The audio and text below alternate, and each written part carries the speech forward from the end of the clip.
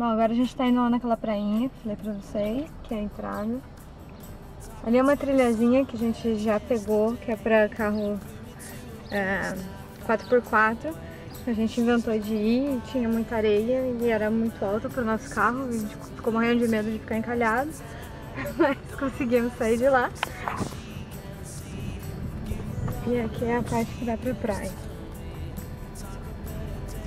Não é bem uma praia, né?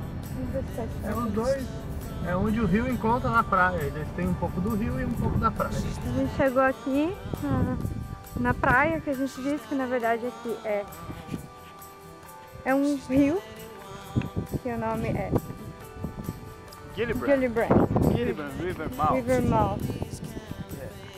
Eles mal eles chamam quando o rio desemboca na praia. Então, na verdade, é, nós estamos onde o rio desemboca na praia. Então é uma praia e um rio.